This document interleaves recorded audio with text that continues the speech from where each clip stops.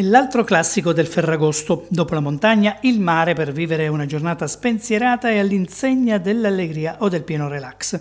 Anche perché, diciamolo francamente, se da tempo si parla di turismi, il Ferragosto resta un momento irrinunciabile delle vacanze.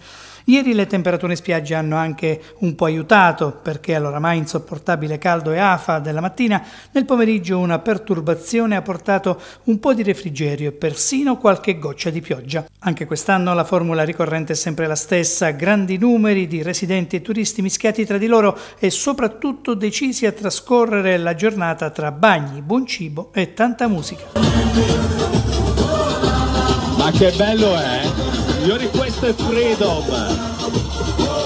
Il Ferragosto d'Italia, la fiesta.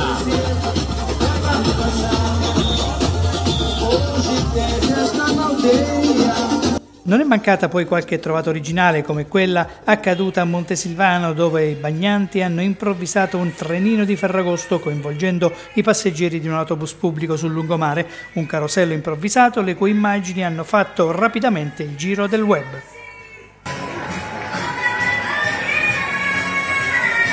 Infine a sorvegliare le spiagge come da tradizione personale di assistenza ai bagnanti e soprattutto le forze dell'ordine, in particolare la Guardia Costiera che anche con l'ausilio di un mezzo aereo del nucleo aereo Guardia Costiera di Pescara ha sorvolato e controllato l'intera costa abruzzese.